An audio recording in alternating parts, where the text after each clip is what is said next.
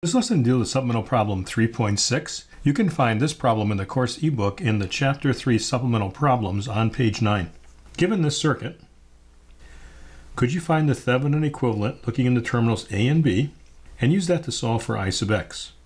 The first step in Thevenin's theorem is to remove the load, shown here, and find the voltage across the open circuit. Because there's no current here, the current in the 10 ohm resistor is the same as the current in this 10 ohm resistor, so we have a voltage divider of a half.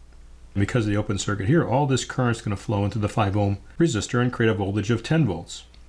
The Thevenin voltage would be this node voltage, if we think of this as a common connection or ground, minus this node voltage. 5 minus 10, or minus 5 volts. The second step of Thevenin's theorem is to set all the independent sources equal to zero. So we're going to short the 10 volt source, open the 2 amp current source.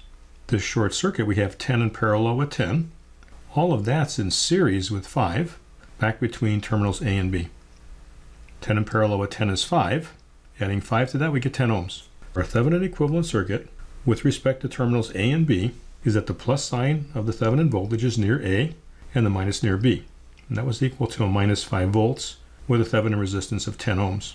If you don't like minus signs, you could flip this over, get a plus 5 in this direction, and now put the load back on. With the voltage here, we would be pushing current in this direction, of 5 volts divided by the total resistance of 16 ohms.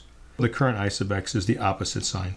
Minus 5 divided by 16, minus 312.5 milliamps.